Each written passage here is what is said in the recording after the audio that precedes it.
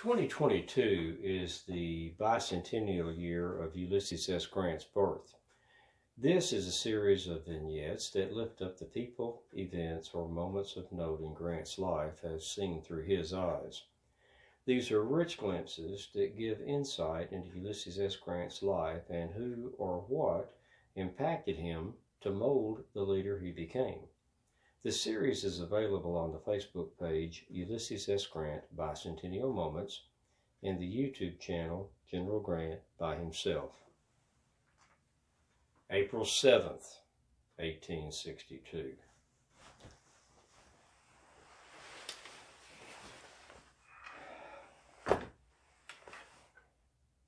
I'm uh, Major General Ulysses S. Grant on the second day of the Battle of Shiloh or Pittsburg Landing. It is April the 7th of 1862.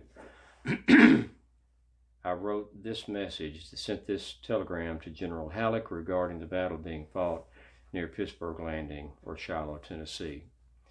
To Major General Halleck, yesterday the rebels attacked us here with an overwhelming force, driving our troops in from their advanced position nearer to the landing. General Wallace was immediately ordered up from Crump's Landing, and in the evening one division of Buell's army and D.C. Buell in person arrived. During the night, one other division arrived and still another today.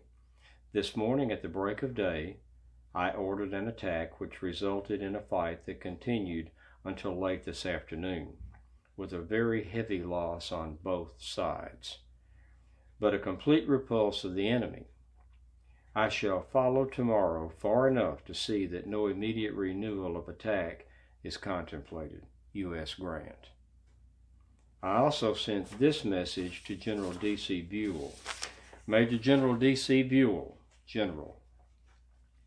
When I left the field this evening, my intention was to occupy the most advanced position possible for the night with the infantry engaged through the day and follow up our success with cavalry and fresh troops expected to arrive during my last absence on the field. The great fatigue of our men, they having been engaged in two days' fight and subject to a march yesterday and fight today, would preclude the idea of making any advance tonight without the arrival of the expected reinforcements. My plan, therefore, will be to feel on in the morning with all the troops on the outer lines until our cavalry force can be organized. One regiment of your army will finish crossing soon, and a sufficient artillery and infantry support to follow them ready for a move. Under the instructions which I had previously received, and a dispatch also today from Major General Halleck, it will not then do to advance beyond Pea Ridge, or some point which we can reach and return in a day. General Halleck will probably be here himself tomorrow.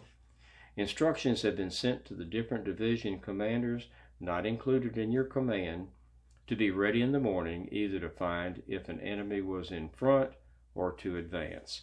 Very respectfully, your obedient servant, U.S. Grant, Major General commanding. I am Major General Ulysses S. Grant at Pittsburg Landing on the Tennessee River in Tennessee. Second day of the Battle of Pittsburg Landing. It is April the 7th, 1862. This has been a Ulysses S. Grant bicentennial moment.